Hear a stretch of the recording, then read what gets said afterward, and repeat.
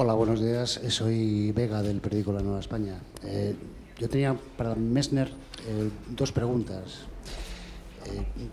¿Qué diferencia hay entre el mundo del montañismo de, su época, digamos, gloriosa y el actual?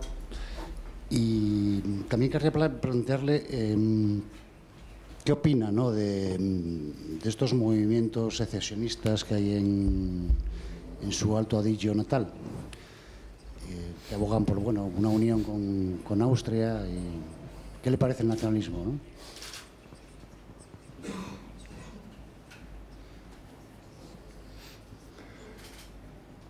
First of all, good morning, everybody. I prefer to speak in English. My mother tongue is German. Just I tell it for the second part of your questions. I am speaking also Italian. I am Italian, feeling South Tyrolean, European, and citizen of the world. Maybe here in Spain it's very interesting to speak about autonomy, uh, like it is also in Italy. But first, the question, which is the question of alpinism of these days.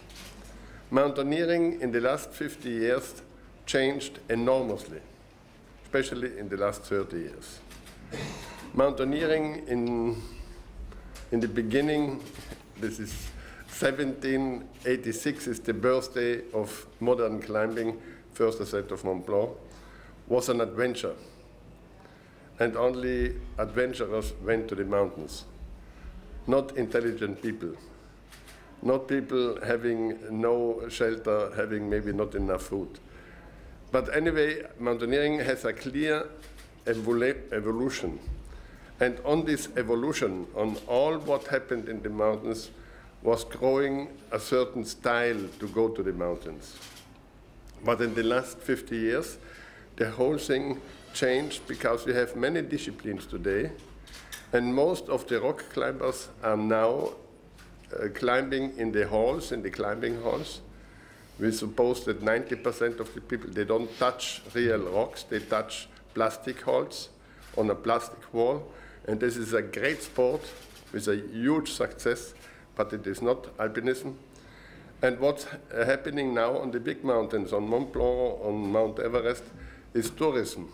The mountain is prepared for huge groups, and after preparing the mountain, this is done by the Sherpas by themselves, the people go up on a prepared line, on a prepared series of camps with doctors, with cooks, uh, with helpers, with Sherpas they are guiding, and so they can, trekking-wise, uh, reach the summit. When Christoph Wielicki in 80 was on Everest in the worst uh, winter conditions, they were on their own. No Sherpa were involved, but Sherpa didn't go ahead. Sherpa did all the work in base camp. They helped to carry the equipment, but the Polish people went ahead and did all the uh, exploration and did all the, the work on the mountains and on, only uh, on certain pieces of the mountains. The borders were there to carry after them the equipment they needed higher up. But this uh, is tourism, and what the Polish did, this is great alpinism. Great alpinists are going where nobody else is going, where everybody else is fearing to die, and where normal people are trying to live out uh, of their lives. Now to the second question. I know that you have in Spain similar discussions, I would not say problems, like we had. South Tyrol became a part of Italy with the First World War, exactly in 1915. 1915, when the war, the First World War, was quite running, the Italians were still discussing, first with the Austrians, to go with them in the war. And since the Austrians were not willing to give to the Italians Trieste, the port of Trieste, which was Austrian then, and uh, South Tyrol and a few other places, the Italians changed group. So they went to the Entente, to Russia, Fr- uh, France, and uh, England, and asked them, you give us, in case of victory, Trieste, which was the most important port for the Austrians, and they need it, so they could not give it away. And South Tyrol, the three powers, big powers, said, yes, in case of victory, we give you this part. So automatically, South Tyrol was part of uh, Italy on the end of the war. In reality, from the 15 onwards, but nobody knows then how the war is finishing. And immediately after the war, Mussolini came in Italy, 21, 22, and they tried to, uh, focus, uh, to, to sop, sop, uh, sottomettere in italiano, the, uh, to, to change this part, this Austrian, German speaking part uh, of Italy now, in an Italian province. And it was forbidden to have uh, German speaking schools, was forbidden to uh, give a lecture in German, it was forbidden to be in public uh, in a, in a German speaking discussion, for example. Everything, the, the language was more or less uh, forbidden, not at home naturally, not in the church. The, the last places where people could go and speak in German was the church and at home. And South Tyroleans suffered. In 39, Hitler and Mussolini uh, were planning to dissolve the situation, giving to this small part of Italy now, 400,000 people, the possibility, the option to vote for leaving the country and joining the Third Reich or staying in Italy. And 86% of the German-speaking people, they decided to leave the country. But for the fact that the war was just going on, the, the vote was between 1st of September 39 and last of December 39, in the first three months of the war, it was not possible to bring this, this poor South Tyroleans to some place in Germany. There was no place. And on the end of the war, it was worse. Six millions of Germany were on the streets. They didn't know where to go and there was not a place either for the South Tyroleans, and so we could stay in our country. Without the Second World War, South Tyrol would not anymore existing. And in 57, a leader of a leading party of the South Tyrol Volkspartei, he decided uh, to go the way of the autonomy with Italy. And from 57 up to now, we are working for an autonomy which is always changing. An autonomy is never a finished thing. It's, a, it's a, um, an act, so it's changing. We have a full written autonomy. We are, I think we are happy. Somebody is never happy. And there is maybe a percentage of 10, 12 percent they would like to go to Aust with Austria. I would never uh, do some performance for this. But anyway, we have always opened the possibility to be an own country. But this will now be possible in Europe. If Europe is not collapsing, this will not be possible. This is also good. Because I think that we need the nations to become a com commune uh, Europe. We cannot do it with 500 districts, 500 uh, smaller countries or provinces or how, uh, regions or how do you call them. This is not possible to do many places. So we, we have the right way. We South Tyroleans are showing the world how it is function. We don't need to be Italians, and we are not Italians.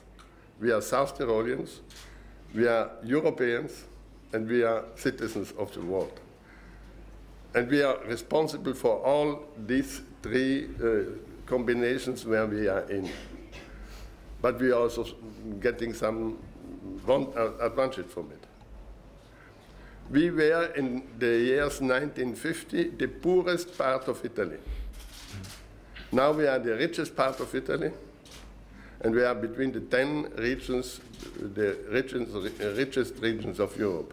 And this is saying everything autonomy, autonomy is functioning with a financial autonomy and especially with quite three things for what it's possible to give to a, to a region. A region cannot have everything, otherwise it's a own country. A region has also uh, responsible for their own country, and it, Italy is our country, but we are not Italians. It's very strange. We are speaking three languages, each one in, in South Tyrol, and this is the base of our success. For what we suffered in the 30s so, uh, under Mussolini, now this is our advantage. advantage. Okay, I hope you're happy. Muchas gracias. Siguiente pregunta, por favor.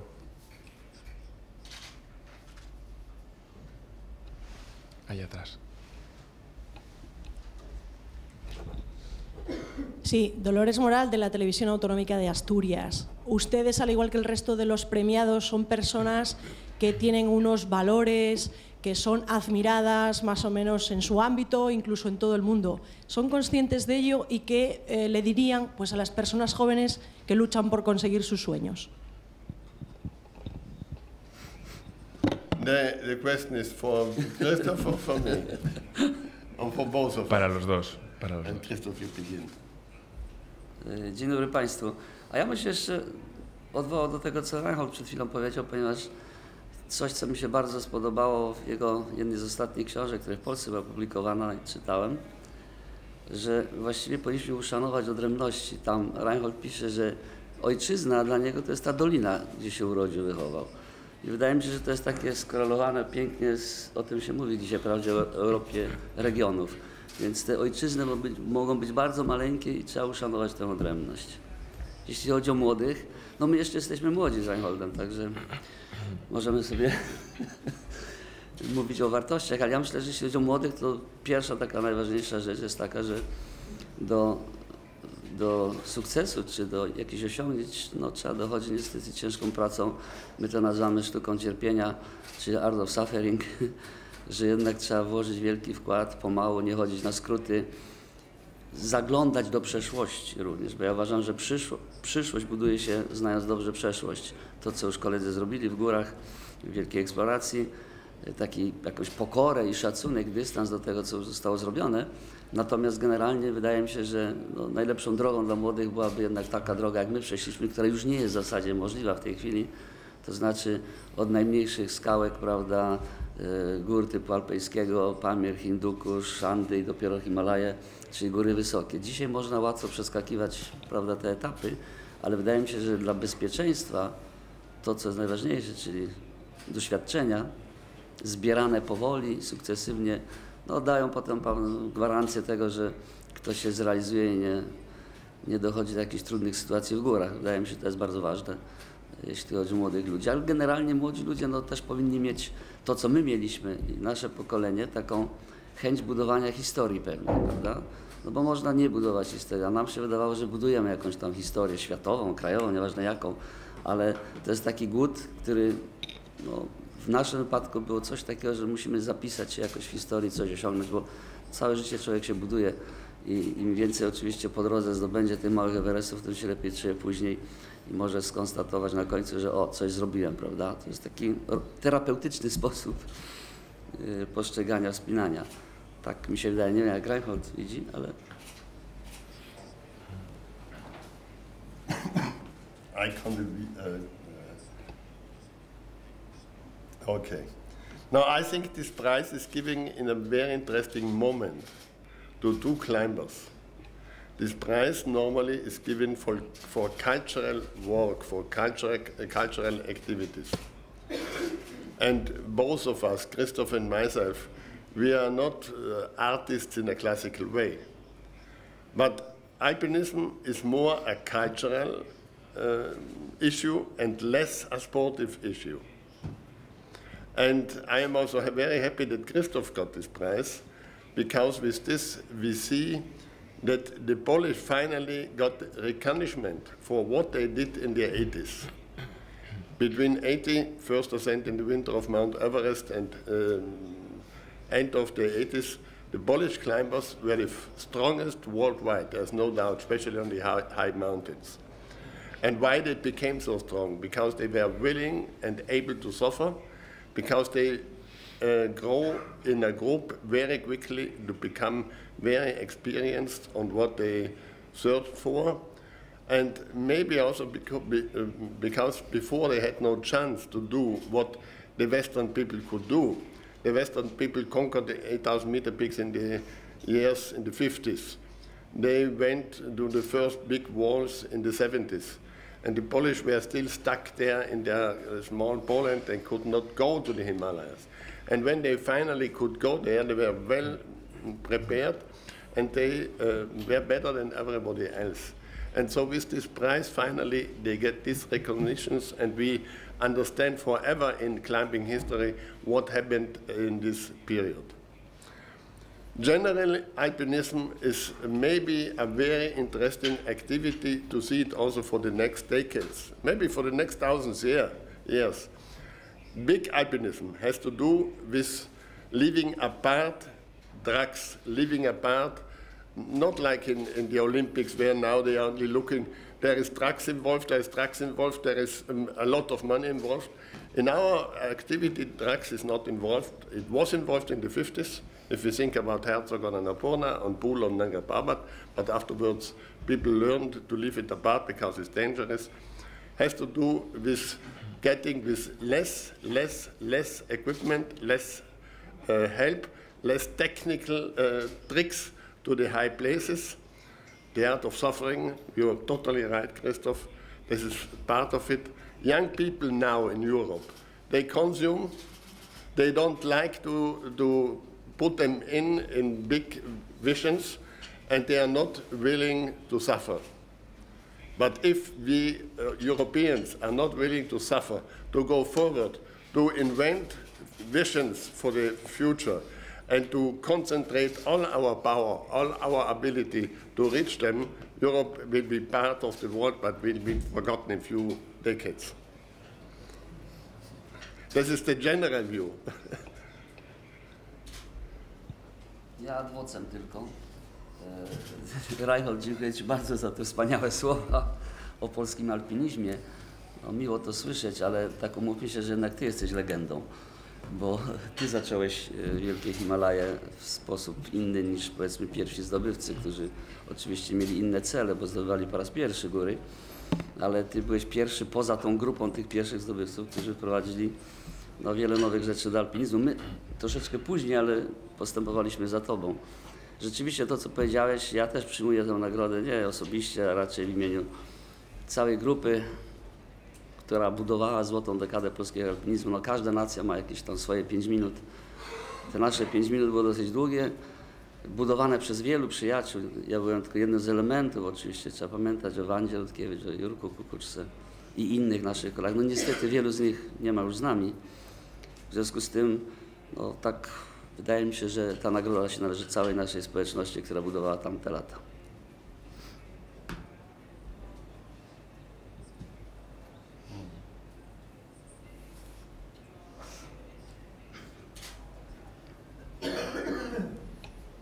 Siguiente pregunta, por favor.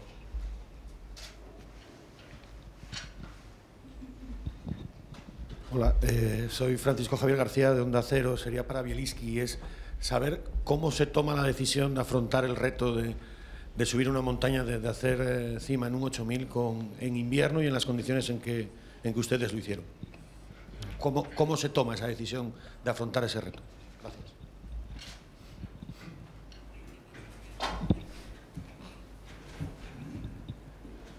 No ja myślę, że musielibyśmy wrócić do początków eksploracji tej takiej no, w górach wysokich i Polacy niestety stracili tą wielką eksplorację lat 50 do 64 ubiegłego wieku.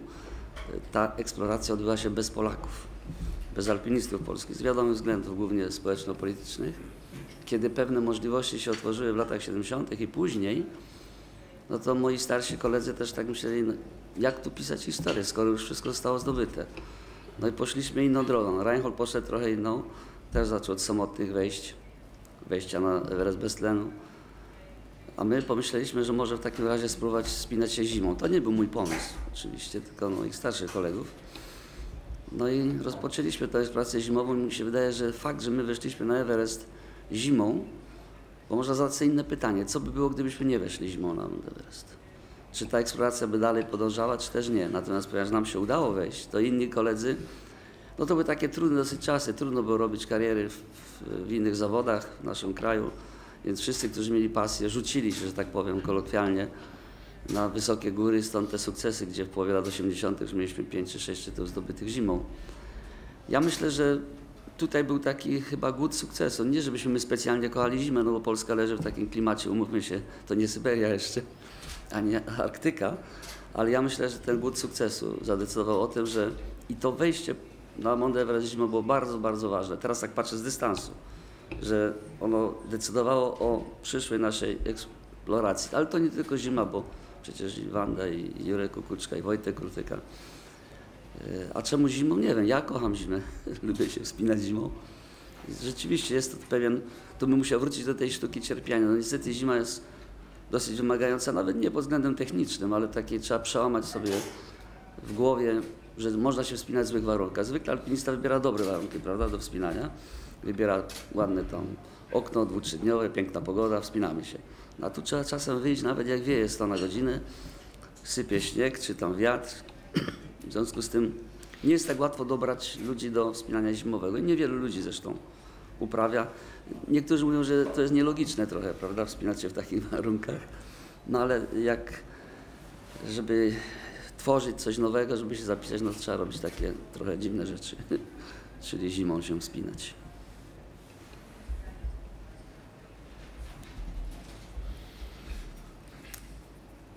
¿Más preguntas?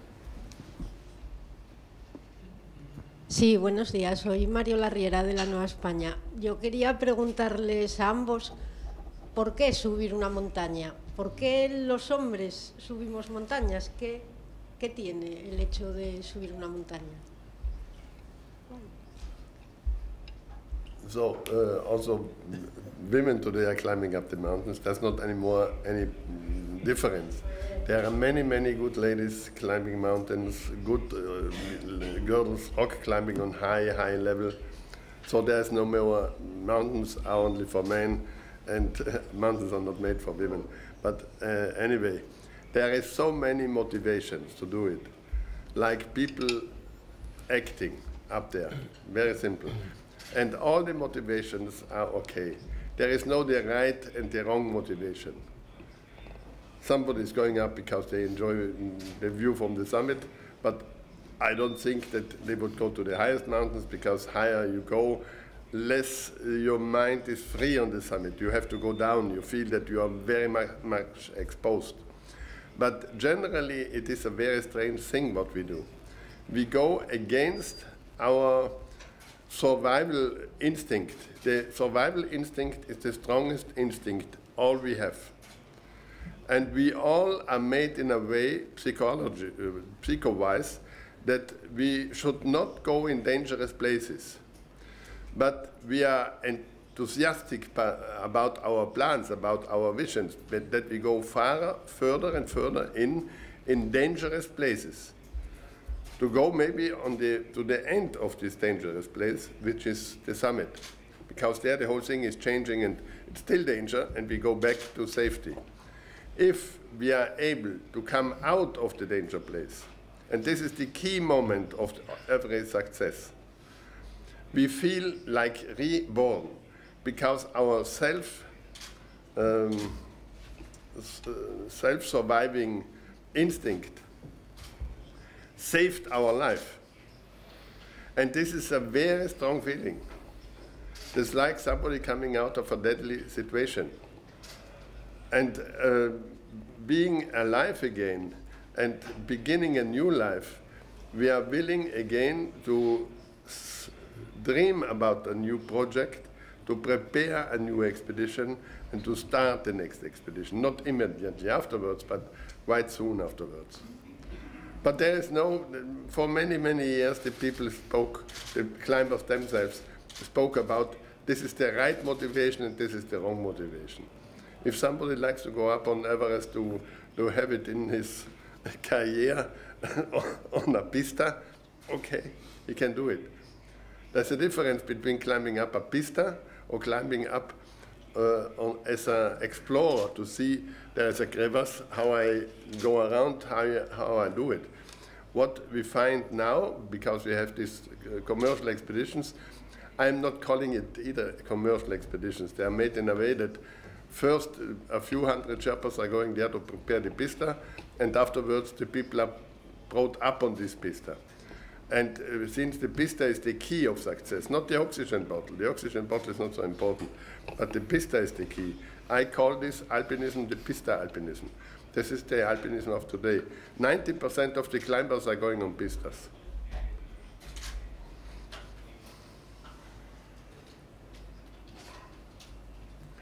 Other questions? No sé si el señor Bieliki quiere añadir algo. No ja bym dodał tylko tyle, że e, nie mówiliśmy tu o tym, że to jest jednak pasja, to jest coś uzależnienie, prawda, takie bardzo głębokie uzależnienie, wspinanie, wydaje mi się, że to jest taka potrzeba szukania emocji, bo my nie walczymy, alpiniści nie walczą z górami, tylko z własnymi słabościami.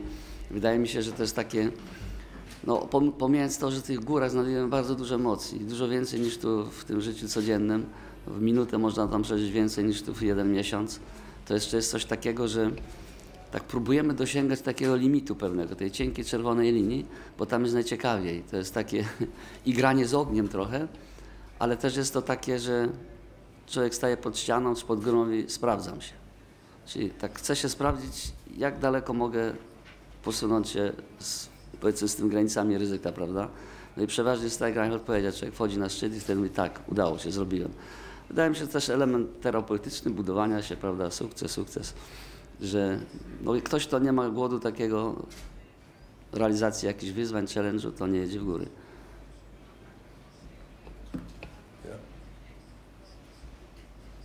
Nos queda tiempo para una última pregunta.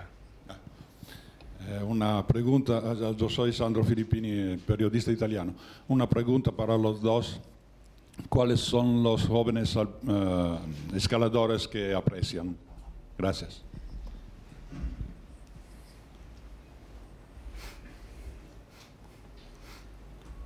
I think it's not the moment in a, such a conference to uh, tell names, um, because maybe somebody would be forced to do something what he would like, uh, do not like to do, without being named here. I have my experiences uh, to say like this, but anyway, today uh, there are much more, uh, there are stronger climbers than in every period before for high altitude climbing, but also for rock climbing, especially for rock climbing.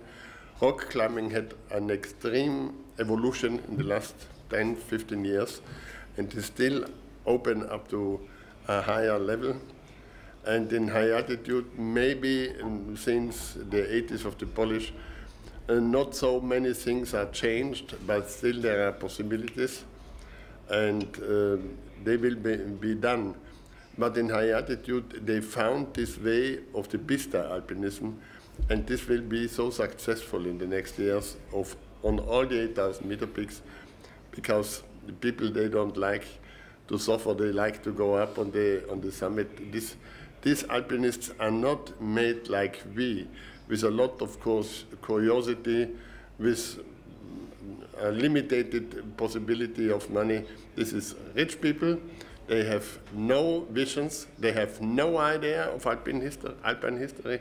They only use the um, myth of the mountain or mountaineering to be in, in front of a large public, a shining figure which conquered this and this and this peak. But in reality, they do not, not, not know either where they were when they climbed this peak, because they go with the helicopter from the last city to the base camp. They maybe are just acclimatized from home in an under pressure chamber. They go up the mountain partly by helicopters, and on the end they climb the mountain on a, on a pista and come down. And now they were on some summit, but somewhere in the Himalayas. But they had no, they had no interest to do a special thing. They had only the interest to have the summit, and since they have no the capacity to climb it, they buy it because money is, is, is there. You have to know that some people are, paying hundred thousand dollars for being brought, bring, uh, being brought up to one of these peaks. Kontynuując, wydaje mi się, że bardzo dobrze Reinhold powiedział, że trudno mówić o nazwiskach, bo e, no, alpinizm jest taką dyscypliną też, że nie ma takich powiedzmy miejsc, pierwszy, drugi, trzeci, czwarty, piąty. Możemy mówić o grupie ludzi, którzy, pro, protagonistach, którzy coś nowego wprowadzają do wspinania, prawda? My bardzo niechętnie używamy nazwy, u nas nie ma podium, nie ma, prawda, pierwszy, drugi, trzeci, w związku z tym wydaje się, że jest grupa, która no, stara się poprawiać styl, jest jakaś grupa alpinistów, którzy poprawiają ten styl, który my prezentowaliśmy kiedyś, ale tak jak Reinhold powiedział, to jest takie bardziej, bardzo wycinkowe, bo jednak dla nas góry wypełniały nam całe życie. Wybraliśmy taką tak zwaną ścieżkę góry, a dzisiaj niekoniecznie tak ludzie robią, czasem wybierają nie ścieżkę góry, tylko konkretny element, który im potrzebny jest do prawda, realizowania się w mediach i w ogóle do, no, nawet do realizowania się, ale nie wybierają takiej od, od A do Z, prawda, ścieżki, jaką my wybraliśmy, czyli góry to były nasze życie, wszystko wypełniały, tak jak powiedział Reichel, nie tylko samo wspinanie góry, ale elementy kulturowe, yy, przebywanie w różnych środowiskach, spotkania, konferencje, no, coś, co było takim bardzo ważnym, oprócz elementów sportowych, czyli ten element kulturowy.